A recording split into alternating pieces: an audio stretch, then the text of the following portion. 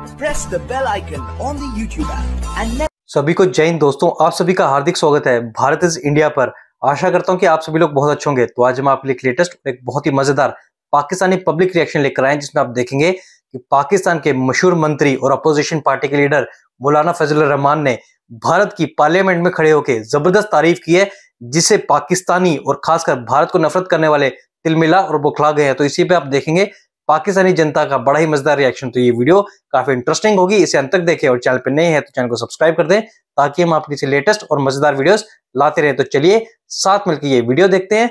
जय हिंद जय भारत। पाकिस्तान में जब कोई आम पाकिस्तानी, कोई यूट्यूबर कोई सोशल मीडिया इन्फ्लुएंसर इंडिया की बात करता है, जब ये कहता है कि इंडिया दुनिया की पांचवी बड़ी इकोनॉमी बन गई है, जब ये कहता है कि इंडिया कहीं ना कहीं बहुत सी फ़ील्ड में हमसे आगे है, जब ये कहता है कि हमें इंडिया से कुछ सीख लेना चाहिए तो तब उसे डायरेक्टली गद्दार कहा जाता है, तब उसे डायरेक्टली अदारों की तरफ़ से नोटिस भी आता है। लेकिन यही चीज़ जब पाकिस्तान की असेंबली में, पाकिस्तान के सीनियर पॉलिटिशियन रिसेंटली मौलाना फजल रहमान ने ये स्टेटमेंट दी है। उन्होंने ये बोला है कि भाई आज इंडिया को देख लें जो 1947 में हमारे साथ ही आज़ाद हुआ आज जो सुपर पावर बनने के ख्वाब देख रहा है और हम जो सा है आईएमएफ के पास या मुस्लिम लोगों के पास जाके भीख मांगते नज़र आ रहे हैं। हिंदुस्तान और हम एक ही दिन में आज़ाद हुए। आज वो दुनिया की सुपर ताकत बनने के ख्वाब देख रहा है। और हम दिवालियापन से बचने के लिए भीख मांग रहे हैं। क्या मौलाना फजल रहमान भी इंडिया के एजेंट हैं। आज यही चीज़ हम पाकिस्तान की पब्लिक से पूछेंगे और जो मेरी पर्सनल ओपिनियन है वो भी मैं आपको साथ साथ बताऊँगा। चलते हैं वीडियो की तरफ़ और मिलते हैं वीडियो के बाद। अस्सलाम वालेकुम वालेकुम सलाम। आपका नाम? मोहम्मद विकास। और आपका नाम? मोहम्मद तैयब। अरसल। उमर। बिलाल। क्या करते हैं? मैं जॉब करता हूँ। क्या जॉब करते हैं? मैं as H R officer combined fabrics में ज़बरदस्त। आप क्या करते हैं? मैं सॉफ्टवेयर इंजीनियर हूँ सर ओ आप? मैं कोऑर्डिनेशन की जॉब करता ठीक है। मैं कोंडा डालता हूँ। लिवाइज लिवाइज का कोंडा। अच्छा अच्छा अच्छा अच्छा। ठीक हो गया जिस टॉपिक पे वीडियो रिकॉर्ड कर रहे हैं वो टॉपिक ये है कि पाकिस्तान में कोई आम पाकिस्तानी अगर इंडिया की तारीफ़ करता है ना तो उसे ये कह दिया जाता है ये गद्दार है। ठीक है ये एजेंट है ये इंडिया को पाकिस्तान में रहते हुए ग्लोरीफाई कर रहा है। शायद ये नमक हराम है ये सब बड़ा कुछ कहा जाता है। अदारों से नोटिस भी आ जाते हैं। अभी मौलाना फजल रहमान है पाकिस्तान के सीनियर पॉलिटिशियन है तीन बार कश्मीर कमेटी के वो चेयरमैन भी रह चुके हैं। आज उन्होंने असेंबली में खड़े होकर ये बोला है कि 1947 में इंडिया और पाकिस्तान इकट्ठे आज़ाद हुए। आज इंडिया सुपर पावर बनने के ख्वाब देख रहा है और पाकिस्तान आईएमएफ के पास या मुख्तलिफ़ जगहों पे जाके भीख माँगता फिर रहा है बैंक हो, होने से बचने के लिए। क्या कहना चाहेंगे इसके ऊपर? सर बेसिकली पाकिस्तान और इंडिया आज़ाद तो इकट्ठा हुआ है लेकिन जो डेवलपमेंट है ना जो तरक्की की है वो दोनों ने अपने रास्ते डिफरेंट जो है ना वो इख्तियार किए ठीक है। पाकिस्तान जब से बना है जो भी हुक्मरान आया हमारा हुक्मरान आया उसने पाकिस्तान के बारे में नहीं सोचा अपने इवन के बारे में अपने अपने बारे में सोचा है। शुरू से देख ले जितने भी हुक्मरान आए उन्होंने अपनी प्रॉपर्टी बनाई है इवन के जो पॉपुलेशन है पॉपुलेशन जो अवाम है उसके बारे में कुछ नहीं सोचा। अगर अवाम के बारे में सोचा होता जो आज जो यंग जनरेशन है जो जॉब ढूंढती फिरती है वो बेरोजगारी का शिकार ना होती। ठीक है। अगर वो बेरोजगारी का शिकार ना होती तो मुल्क आज डेवलपमेंट की तरफ़ कामजन होता। जैसे बाहर की जितनी भी गवर्नमेंट है उनको देख ले वो अपने यंग जनरेशन को सपोर्ट करती हैं उनको ऊपर इन्वेस्टमेंट करती हैं। यहाँ पे हमारी गवर्नमेंट क्या इन्वेस्टमेंट करती है कुछ भी नहीं करती। गवर्नमेंट का जो बच्चा होता है उसके ख्वाब जो दिल में होते हैं वो दिल में ही रह के दफन हो जाते हैं। ठीक हो गया। इंडिया के साथ दूसरी बात इंडिया के साथ हमारा कंपैरिजन नहीं जो है वो बनता ही नहीं है। हमें अपनी ईद का चाँद नज़र नहीं आता और इंडिया ईद पे चाँद पे जो है वो पहुँचा हुआ है। हमें अपना चाँद नज़र नहीं आता। वो टेक्नोलॉजी में बहुत आगे हमारा उनसे कोई कंपैरिजन नहीं बनता। नहीं आप मेरा शायद क्वेश्चन ठीक से समझे नहीं या मैं समझा नहीं पाया। आपने आपने जो बात की है वो अपनी जगह ठीक है। मैं ये कहना चाह रहा हूँ कि ये जो आपने बात की है इस बात पे आपको गद्दार कह दिया जाएगा या मुझे गद्दार कह दिया जाएगा कि आपने ये बात चलाई क्यों है? सर ये शुरू से लेकिन लेकिन जो हमारे पार्लियामेंट में हमारी असम्बली में बैठ के बात कर देंगे सेम यही कि आपको नहीं लगता ऐसे तो पब्लिक कंफ्यूज हो जाएगी। एक साइड पे मुझे अगर या आपको कहा जाए कि इंडिया का नाम ही नहीं लेना। इंडिया के बारे में डिस्कशन ही नहीं करनी। इंडिया की तारीफ़ ही नहीं करनी। और दूसरी साइड पे आप टीवी लगाएँ देखें हमारे नेशनल चैनल पे जी हमारे पॉलिटिशियन कह रहे हैं इंडिया से सीख लो। इमरान खान साहब कह रहे हैं इंडिया की फॉरेन पॉलिसी बेहतर है। नवाज़ शरीफ कह रहे हैं इंडिया जी ट्वेंटी का मेंबर इसके लिए इसके लिए आप ये भी देखो ना आप मुल्क पाकिस्तान का किसी भी यंग जनरेशन को देख ले। कोई भी जो लाइक अपने एम को लेकर जो बच्चा है जो पैशनेट है। उसको देख ले। वो आप अपने पाकिस्तान में किसी को रोल मॉडल नहीं दे रहा।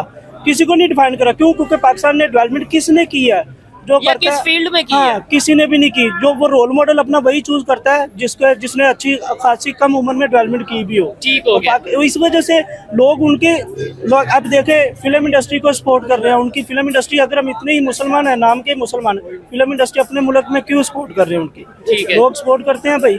लेकिन हमें जो लाइक जो एम होते हैं हाँ। वो लोगों के एम जो है वो लाइक इतना टैलेंट नौजवान पाकिस्तान में भी है बहुत नौजवान टैलेंट है। लेकिन वो बाहर जाता नज़र भाई रहा आप देखें एम्बेसियों में चले जाएँ अभी लाइक मेरे दोस्त बता रहे थे कि इस मंथ डेढ़ लाख ऐसे वीजे पेंडिंग हैं जो बाहर जाने वाले लड़के हैं। तो अगर आपके एक एक पढ़े लिखे नौजवान है जो बाहर जा रहे हैं वो टैलेंट आपका सारा बाहर जा रहा है मुल्क में आप, आपके पास कुछ भी नहीं है। बचा तो इसका मतलब यह है कि आपके जो पॉलिटिशियन है वो आपको यही कह रहे हैं कि जी हम ये कर रहे हैं इवन के जो आवाम पढ़ी लिखी थी वो बाहर जा चुके जिनके पास शौर था वो बाहर जा चुके। है और जो अभी नहीं जा रहे उन्हें मौका नहीं मिल रहा। आपको अगर मौका हाँ। मिले सच बोलिएगा मौका मिले चले जाएँगे। मैं ऑब्वियसली कल मेरे हाथ में वीज़ा हो मैं चला जाऊँ क्यों? यहाँ पे फ्यूचर किसी को सिक्योर नज़र नहीं आता। ठीक है आपको अगर सच बोलिएगा मौका मिले आज आपको वीज़ा मिल जाए। किसी फॉरेन कंट्री का आप चले जाएँगे या रुकेंगे कि भाई पाकिस्तान से प्यार है मैं तो इधर ही रहूँगा। देखिए जी हर कोई अपने फ्यूचर के लिए जाता है कुछ ना कुछ सीखने के लिए कुछ ना कुछ अर्न करने के लिए। तो डेफिनेटली अगर मौका मिलता है तो ज़रूर उसको अवेल करेंगे। आप यहाँ रुकेंगे या जाएँगे? वीज़ा अगर मिलता है। नहीं यहाँ रुकूँगा। यहाँ रुकेंगे? पक्की बात है। रीजन क्या है? अच्छा अच्छी बात है ना आपने बोला कि यहाँ रुकूँगा उसकी रीजन क्या है? अगर हमने इन्हें कायल करना होगा भाई आप क्यों जा रहे हो? तो क्या कहेंगे?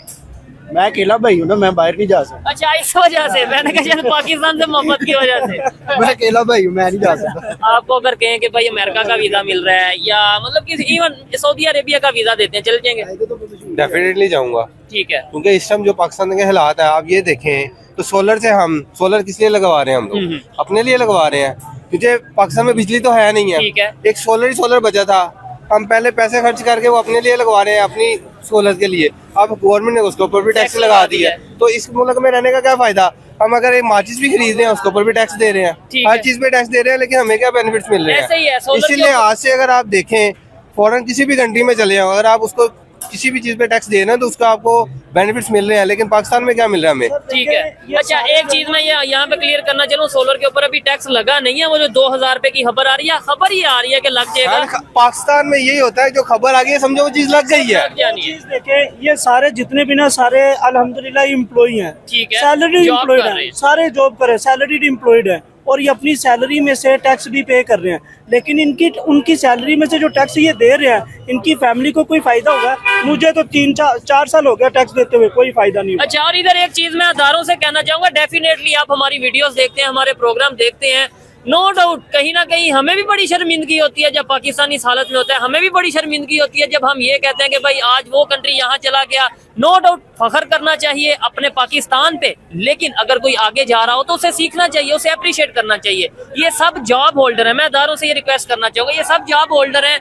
ये कह रहे हैं कि अगर मौका मिला पाकिस्तान से बाहर चले जाएँगे तो जरा सोचिए कि वो लोग जिन्हें जॉब ही नहीं मिल रही, जो कोई इंजीनियर बन के बेरोजगार बैठा है, कोई डॉक्टर बैठा है, कोई मतलब कितनी कितनी डिग्रीज लेके घर में बैठे जॉब नहीं मिल रही, अगर उन्हें मौका मिलेगा तो वो क्या करेंगे? ये जरा सोचिएगा। अच्छा मुझे ये बताएँ, क्या वजह है कि हम डेवलपमेंट की तरफ़ नहीं जा पा रहे। क्या वजह है कि मैं आपको ब्लेम कर देता हूँ? मतलब गवर्नमेंट जो पॉलिटिशियन है वो स्टैब्लिशमेंट को स्टैब्लिशमेंट कहती है कि हम जो है वो पॉलिटिशियन जाने। सर पाकिस्तान में हर बच्चे के अंदर टैलेंट है। अच्छा। जो कमी है ना यहाँ पे वो है अप्रिशिएशन की। और दूसरा ये होता है कि लाइक उस बच्चे ने अगर अच्छा काम करने की सलाहियत है तो उसके उस काम को अप्रिशिएट करना चाहिए। आप देख ले पाकिस्तान में बहुत से लोगों ने ऐसी ऐसी चीज़ें बना डाली हैं जब वो उस चीज़ की प्रेजेंटेशन देते हैं आपको दस दिन बाद वो बंदा पाकिस्तान में नज़र ही नहीं आता। फॉर एग्ज़ाम्पल हाँ फॉर एग्ज़ाम्पल अगर हम बात करें धर्मपुरा में एक लड़के ने पानी के ऊपर बिजली बना के दी थी। अच्छा। पानी के ऊपर उसने पावर प्लांट पावर प्लांट लगा के पानी से पन बिजली उसने बना के दी लेकिन वो बंदा आज तक पाकिस्तान में नज़र नहीं आया। आप देखिए पाकिस्तान में पाँच से छह दरिया बह रहे हैं। समंदर हमारे पाकिस्तान में है। हम पन बिजली को भी पैदा कर सकते हैं। हम बाहर से तेल एक्सपोर्ट कर रहे हैं। ठीक है जिसके बदले में क्या है हमें बिजली महँगी मिल रही है। बड़ी बात ही हाँ। आपने बोला बाहर से ऑयल एक्सपोर्ट कर रहे हाँ। हैं। इंपोर्ट कर रहे हैं एक्सपोर्ट नहीं इंपोर्ट कर- रहे हैं, ठीक है ईरान से क्यों नहीं इंपोर्ट कर लेते?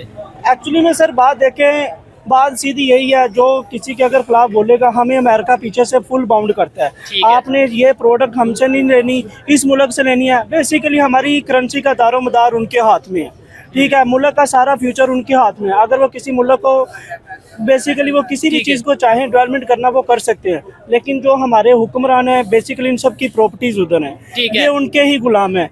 जैसे कि हमारे हुक्मरान है उन्होंने कहा बैगर कांट भी चूजी जब उन्होंने इंटरनेशनल लेवल पे आपको बुखारी साबित कर दिया तो आपके पास कुछ भी नहीं बचा। ठीक है। अच्छा यहाँ पे बड़े नौजवान हैं और एजुकेटेड हैं इनसे ये पूछता हूँ कि चलो हमें तो रोक दिया गया हमें तो ये कह दिया गया कि आपको नो, नोटिस बकायदा भेज दिया गया मुझे कि भाई आपने इंडिया की बात नहीं करनी इंडिया को ग्लोरीफाई नहीं करना इंडिया से सीखना क्या इंडिया का ज़िक्र ही नहीं करना। मैं ये कहता हूँ कौन सा ऐसा कंट्री है पूरी दुनिया में जिससे हमें सीखना चाहिए? मैं कहता हूँ सीखे तो सही। सर अगर हम देखा जाए तो टेक्नोलॉजी के लिहाज से आपको आजकल चाइना भी बहुत आगे नज़र आ रहा है। ठीक है। ठीक है लेकिन वो कहते हैं ना चाइना का माल चल जाए तो चल जाए नहीं तो कल कल चले या ना चले इसका नहीं पता। लेकिन टेक्नोलॉजी में आप देखें अमेरिका यूरोपियन कंट्री में जिस भी किसी भी अपने इर्द गिर्द खास तौर पे उन कंट्री से जिन्होंने हाँ। हमारे साथ सफ़र स्टार्ट हमारे साथ सफ़र स्टार्ट किया बांग्लादेश ने वो 1971 में जो आज़ाद हुआ। आप देख लो उन्होंने कितनी डेवलपमेंट की इंडिया को हम कहते हैं हर बात में इंडिया को स्पोर्ट नहीं करना स्पोर्ट नहीं करना। उन्होंने भी उन्नीस में ही आज़ादी लिया। हमने भी उन्नीस में आज़ादी लिया। आप आज देख ले माइक्रोसॉफ्ट का हेड ऑफ़िस उधर लगा है अमेजोन का हेड ऑफ़िस उधर लगा है इवन के टेस्ला जो इलन मस्क की कंपनी है उसका हेड ऑफ़िस उधर लगा है वो अपने लोगों के एप्पल गूगल ये हाँ, सब सब सब कुछ उधर है। इवन के हमारे दोस्त भी बाहर है। ये नहीं कि हमारे दोस्त बाहर नहीं है वो जाके यही कहते हैं जो पाकिस्तानी स्टूडेंट है वो दोबारा पाकिस्तान आना नहीं चाह रहा। अच्छा। क्यों? क्योंकि यहाँ पे सैलरी आपको पीकेआर में मिल रही है।